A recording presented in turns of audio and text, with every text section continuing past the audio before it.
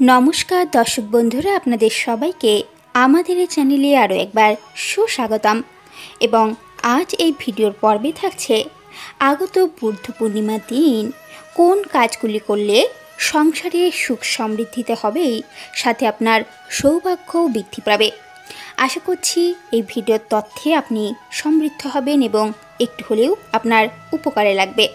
যদি ভালো লেগে থাকে তাহলে লাইক, শেয়ার এবং আমাদের চ্যানেলকে সাবস্ক্রাইব করে দিতে কিন্তু ভুলবেন না। বুদ্ধ পূর্ণিমা বৌদ্ধ সম্প্রদায়ের প্রধান উৎসব হলেও হিন্দুদের কাছে ঠিক ততটাই গুরুত্বপূর্ণ। বৈশাখ মাস সমস্ত মাসের মধ্যে শ্রেষ্ঠ এবং এই মাসের পূর্ণিমা তিথি অত্যন্তই মাহাত্ম রাখে। এই পূর্ণিমা তিথি বুদ্ধ পূর্ণিমার সাথে বৈশাখ পূর্ণিমা নামেও জানা যায় এবং এই উৎসব বাঙালিদের কাছেও ততটাই জনপ্রিয় এবং পবিত্র বা শুভ। এই দিনে প্রচুর বাঙালিরা নানা রকম পূজা অর্চনার মাধ্যমে দিনটি শুরু করে থাকেন। বুদ্ধ পূর্ণিমার এই বিশেষ তিথিতে বিশেষ কিছু সহজ উপায়ের মাধ্যমে আমাদের জীবন সুখ সমৃদ্ধিতে ভরে উঠতে পারে। আজ এই ভিডিওতে বুদ্ধ পূর্ণিমার দিন করা এমনই বারোটি সহজ কিছু টোটকা বা উপায় সম্পর্কে বলব, যেটি করলে আপনার সৌভাগ্য তো বৃদ্ধি পাবেই, সাথে সুখ সমৃদ্ধিও লাভ হবে। চলুন বন্ধুরা, দেখে নেওয়া যাক সেই উপায়গুলি কী কী। প্রথমেই, বুদ্ধ পূর্ণিমার সকালে উঠে স্নান সেরে হলুদ চন্দন ও দুধের মিশ্রণ দিয়ে বাড়ির প্রধান দরজার দুপাশে স্বস্তিক চিহ্ন আঁকুন। এরপর ভোরবেলায় আপনারা এই দিন গঙ্গা স্নান করতে পারেন। বুদ্ধ পূর্ণিমায় গঙ্গা স্নানেরও বিশেষ মাহাত্ম আছে এবং এই দিন উপবাস থেকে সন্ধ্যায় বা রাতে চন্দ্রোদয়ের পর চন্দ্রদেবের পূজা করুন এবং পূজা শেষ হওয়ার পর ব্রাহ্মণকে কিছু দান করলে সুখ শান্তিতে ভরে উঠবে। তৃতীয় যে কাজটি এই দিন করবেন, এই দিন আপনার বাড়ির ঈশান কোণে ঘিয়ের প্রদীপ প্রজ্বলিত করুন। এতে লক্ষ্মী দেবীর কৃপায় আপনার বাড়িতে কখনো অর্থ, অন্ন ও বস্ত্রের অভাব হবে না। এছাড়াও চতুর্থ যে কাজটি করতে পারেন, এই দিন পিতৃকুলের পূর্বপুরুষদের উদ্দেশ্যে গঙ্গা স্নান করে জলদান করা খুবই শুভ। তাছাড়া এই দিন গঙ্গা স্নান করলে পাপ মুক্তি হয় বলে মনে করা হয়। এবং বুদ্ধ পূর্ণিমার দিন যমরাজের পূজা করলে অকাল মৃত্যু ভয় থেকে মুক্তি পাওয়া যায়।